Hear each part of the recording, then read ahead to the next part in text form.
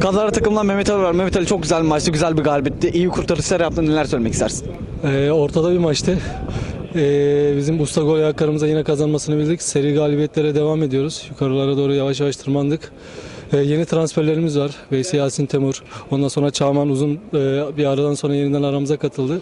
Güzel bir takım olma yolunda ilerliyoruz. Herkesin ayağına sağlık. Rakibe de teşekkür ederiz. Gerçekten adına yakışır bir mücadele oldu. Size de teşekkür ederiz. İyi akşamlar.